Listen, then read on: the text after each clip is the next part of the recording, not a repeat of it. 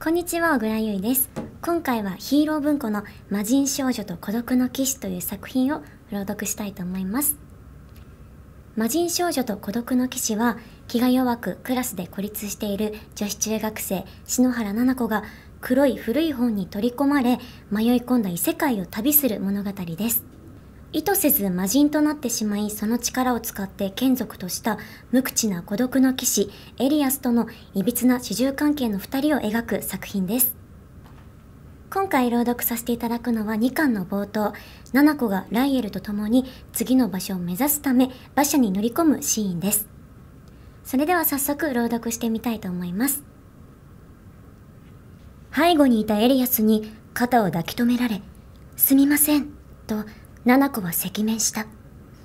エリアスは特に気にした風もなかったが、迷惑ばかりかけている、と気持ちが萎縮してしまう。